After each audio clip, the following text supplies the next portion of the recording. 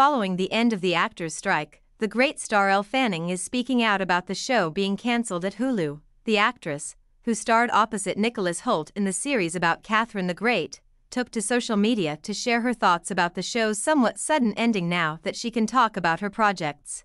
This show has meant the world to me. The experiences shared. The memories I'll never forget.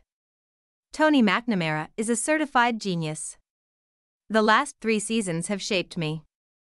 Through playing Catherine, I discovered parts of myself I didn't know I had, she wrote in the caption of a carousel of behind the scenes photos.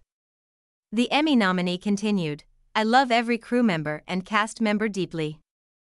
And although I won't get to lace up my corset one last time, I am forever proud of what we accomplished together. In my mind, Catherine is left shaking it all night long, finally stepping into the leader we always knew she would become.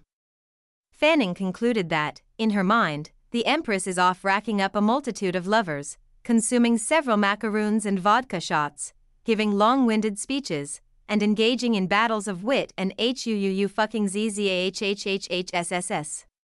Her co star, Hoult, commented on the post, sharing that they had too many brilliant moments on and off screen and calling her the greatest.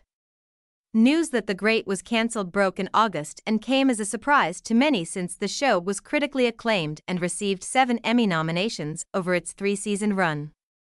Fanning and Hoult garnered acting nominations in 2022, while series creator Tony McNamara and director Matt Shakman earned writing and directing nods for the series premiere. Critics gave it nearly all positive reviews, but it is uncertain how many people watch it, considering Hulu does not share much viewing data.